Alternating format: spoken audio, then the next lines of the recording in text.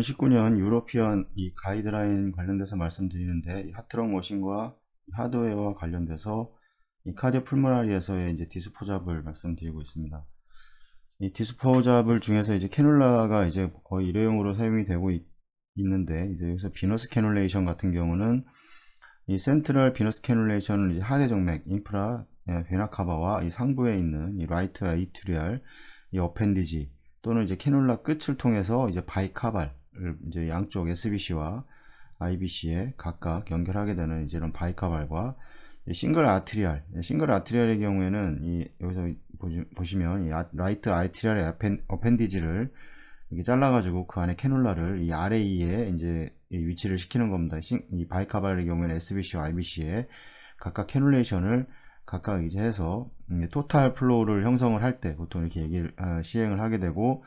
그 다음에 RA나 이제 RA를 접근하는 수술들 뭐 LA를 접근하는 수술들에서 SVC, IVC에 각각 cannulation을 진행을 하게 되고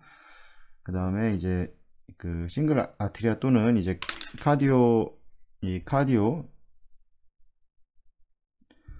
cardio, 네, cavo, 이제 atrial, 이 two stage를 통해서 이제 그 appendage를 통해서 이, 이 RA에 hole이 하나 위치하게 되고 이 나머지 IVC에 이제 hole이 위치하게 돼서 stage가 이제 이렇게 두 단계로 이루어지는 이 two stage를 이제 approach로 대부분 venous 그 cannulation을 진행을 합니다. 그러니까 SVC와 이제 IVC와 동시에 각각 하는 bicaval, 그 다음에 RA에 이 appendage를 통해서 cannulation을 삽관하는 방법, 그 다음에 이제 투 스테이지 캐놀, 투 스테이지, T 스테이지 캐놀라를 통해서 이 RA appendage를 통해서 들어가서 이제 이 IVC의 위치 캐놀라 팁이 위치하게 되는 RA와 IBC의 두 개가 동시에 cannulation을 시행을 해서 이제 그 탈혈을 시행을 하게 되고 이제 venous cannula는 일반적으로 이제 flexible한 이제 플라스틱으로 만들어지게 되고 이제 kinking을 방지하기 위해서 이 와이어로 안에 이렇게 reinforce 이제 될 수, 강화가 될 수가 있습니다. 그래서 이 캐놀라의 끝이 이제 구부러지거나 이제 곱게 펴질 수 있는 이 뭐 이렇게 구부러 구부러지거나 이제 펴질 수 있는 그 캐놀라의 크기는 이제 환 이게 중요한 건데 이 환자의 크기 및 체중 이제 키와 이 몸무게를 통한 이제 BSA를 구해서 이거에 대한 이제 카디악 아웃풋을 이제 구하게 되는데 이 카디악 아웃풋을 형성시켜 줄 수 있는 물론 아트리알 라인도 마찬가지지만 비너스 라인도 이 cardiac output을 다시 되돌려 받을 수 있는 그 사이즈를 선택을 해줘야 되는 거고 그 다음에 이제 어떤 예상 유량 그 예상 유량을 이제 계산을 해서 어, cannula를 선택을 해줘야 되고 그 다음에 이제 catheter flow의 어떤 그런 특징이나 어떤 이 저항 그 다음에 인덱스 이 cannula 대상 혈관 등을 기준으로 이제 선택이 되게 됩니다. 그래서 여기 중요한 거는 이제 중요한 건 arterial line에서 공급이 된 게 venous로 돌아와야 되는데 만약에 arterial line에 4000ml가 예를 들어 분당 4000ml가 공급이 된다고 했을 때이 이 venous cannula를 통해서도 이 4000 이상의 이 flow가 공급을 받아야 됩니다. 만약에 4000이 왔는 4000을 공급을 하고 있는데 만약에 뭐 3500이 밖에 안 나온다든가 이러면 이제 reservoir의 레벨이 줄게 되고 그 500cc라는 거는 이제 어느 부분에 어느 부분에서 정체가 되거나 빠져나가는 이제 이런 이 원인을 발생을 시켜서 이제 결국에는 이제 그 어떤 부종이라던가 이런 것들을 위치를 시키기 때문에 그 상당히 이제 중요한 그 cannula의 선택이 상당히 중요하고 arterial cannula보다도 더 venous cannula venous cannula를 통해서 이제 drain 관련돼서 이게 가장 중요한 거라 할 수 있습니다. ECMO도 마찬가지고 이 CPB도 물론 마찬가지입니다. venous line에 negative pressure를 이제 가하게 되면 이제 롤러 또는 이제 centrifugal pump 어, 시스템을 사용하거나 아니면 이제 뭐 closed hardshell, venous reservoir에서 조절된 vacuum 보통 이제 VAVD라고 얘기하는데 이것을 가해서 이 venous drainage를 이제 보조할 수 있습니다. 지금은 거의 뭐 VAVD를 사용을 해서 시행을 하는데 뭐 롤러 펌프 뭐 롤러 펌프 이게 없다 그러면 이제 필요하다 그러면 이제 롤러 펌프를 이제 venous line에 이제 bridge로 사용을 해서 시행을 하게 되고 아니면 venous 이제 이 centrifugal pump도 이게 venous line이 이렇게 이렇게 있고 reservoir에 이렇게 연결이 된다고 하면 이 venous line에 이게 connector를 이용해서 라인을 땁니다. 라인을 따서 이제 롤러를 하나 롤러를 하나 이용을 하고 그다음에 롤러를 이용해서 다시 이렇게 이렇게 이제 일로 보내주게 되는데 여기를 clamp up 해 버리는 겁니다. 그래서 뭐 클램프 할 수도 있고 안 할 수도 있는데 보통 클램프를 해서 이제 롤러를 통해서 다시 drain을 시키는 여기에서 이제 중요한 거는 이 롤러 펌프에서 이제 이제 occlusion 상태가 중요한데 이 occlusion 상태를 total occlusion을 하면 절대 안 됩니다. 이게 이 계속해서 이 negative가 상당히 많이 걸리기 때문에 이 occlusion의 상태를 어떤 느낌이냐면 이 바다에 떠 있는 강에 떠 있는 노가 있으면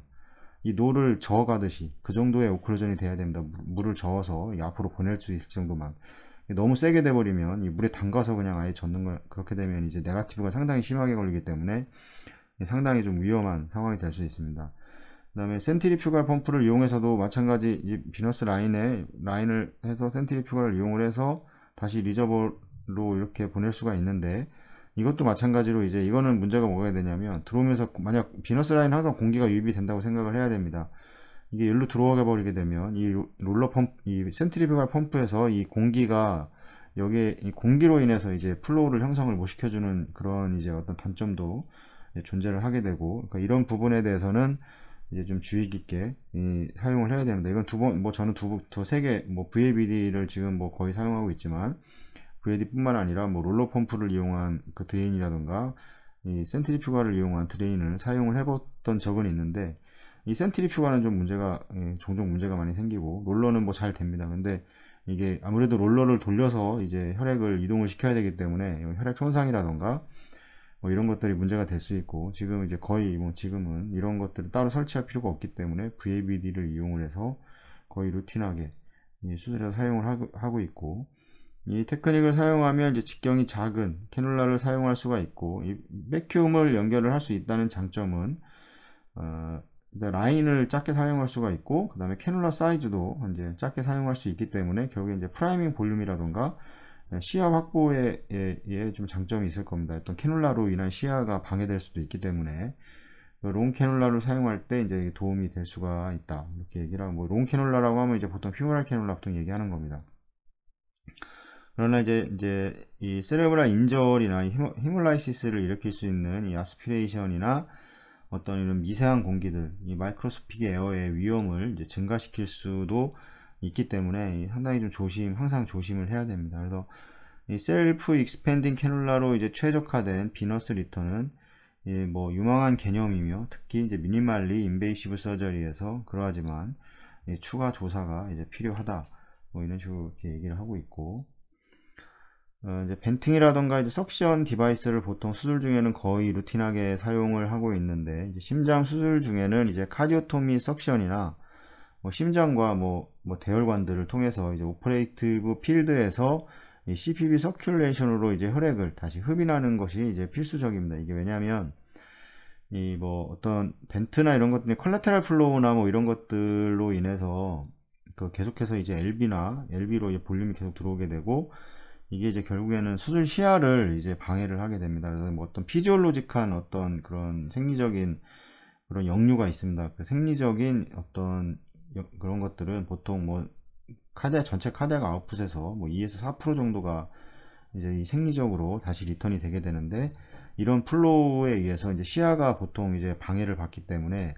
지속적으로 이제 suction을 이용을 해서 그 시야 확보를 위해서 하, 기도 하고 이런 vent를 통해서 이제 나중에는 뭐 공기 제거라던가 아니면 이제 LV에 이 distension을 방지하는 어떤 support를 해주는 역할로도 이 vent를 주로 사용을 하고 있습니다. 그래서 상당히 좀 중요한 어떤 procedure고 항상 거의 루틴 대부분 surgeon들이 루틴으로 vent를 거의 사용하고 아마 사용하실 겁니다. 그래서 이 suction 라인이나 이제 blood air의 인터페이스의 이제 negative pressure는 이 blood 이제 activation 및 blood cell damage에 이제 기여를 하게 되고 가장 큰 게 이제 속도가 빨라 빠른 상태에서 이제 뭐 collapse가 이제 cavitation이 발생을 하게 되면 이제 혈액 손상이 상당히 심해지고 이런 microscopic air들이 상당히 많이 이제 그 생기는 거를 그 눈으로도 확인을 할 수가 있습니다. 그래서 이 그 vent라던가 이런 롤러 펌프를 사용하는 그 상태에 따라서 이제 vent의 vent와 뭐 root vent 보통 얘기하는데 그다음에 cardiotomy sucker 얘기를 하고 cardiotomy sucker의 경우에는 이제 partial occlusion을 시행을 해야 되고 이 vent와 심장에 연결되어 있는 혈관에 연결되어 있는 것들은 이제 이 partial, 아, total occlusion을 시행을 해야 됩니다. 공기가 역으로 이제 그 라인을 통해서 들어갈, 심장으로 들어갈 수가 있기 때문에 이런 것들을 항상 조심해서 이제 항상 occlusion은 이 case by case 케이스 모든 케이스에서 다 시행을 해야 됩니다. 근데 뭐 대부분 안 하는 사람도 많이 있는데 항상 루틴에 들어가 있어야 되고 그 다음에 이 prebypass 체크리스트에 꼭 들어가 있어야 되는 항목 중에 하나가 이런 occlusion들 vent에 대한 occlusion들에 대한 그 정확도입니다. 그래서 뭐 어떤 이런 증거들을 보면 in vitro study에 따르면 negative force가 이제 blood와 공기 접촉이 있을 때 이제 증가되는 hemolysis 이제 hemolysis를 발생시키실 수 있고 뭐 granulocyte 이제 activation도 이제 이 상황에서 이제 보고가 되었다고 얘기를 하고 그 다음에 하나의 이제 in vitro study는 공기가 이 venting 라인으로 유입이 되었을 때 이제 arterial 라인에 더 많은 이제 gaseous 이제 microemboli 이 GME라고 얘기를 하는데 있음을 이제 이걸 보여주었다 얘기를 하고 있습니다. 그다음에 두 개의 이제 clinical study는 이제 passive venting을 통해 혈액을 흡인하는 보다 부드러운 방법, 보다 뭐 gentle한 방법이 있나 본데 이 혈액과 접촉할 때만 흡인하고 그 다음에 cardiotomy suction에 이제 smart suction device를 사용을 하면 뭐 hemolysis라든가 이런 거를 이제 줄일 수 있다고 제안을 하는데 뭐 저는 이거를 뭐 본 적은 없습니다. 뭐 외국에서는 사용을 하고 있는지는 모르겠는데 하지만 이 줄일 수 있다고 제안을 했는데 뭐 임상 결과는 아직까지 뭐 보고된 거는 이제 뭐 없습니다. 그래서 여기에 대한 이제 어떤 그레이드 클래스를 보여주고 있는 거고